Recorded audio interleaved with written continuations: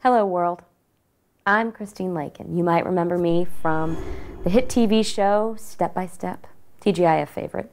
Step by step. Anyway, I am making a documentary about my comeback to television and the business. This documentary is going to be bigger than any, you know, Ken Burns, Errol Morris, Michael Moore documentary.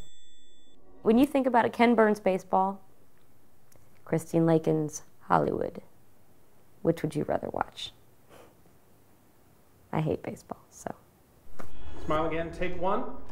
This documentary is important because my journey is a lesson to anyone wanting to break into the biz. There's the networking. The Reds and browns, very kind of muddy. Yeah, this isn't your show. this No, is I- this well, it's is not my gonna be show. in the show. Training. Me, me, me. No. Knowing the right people. It's hi, it's it's Christine And that's just the tip of the iceberg. Lakin. If I was not doing this documentary, I would probably be trying to find a cure for cancer. That's how important it is to me. Dude, 38 million. Plus, I'm not a scientist. Welcome back, Christine Lakin.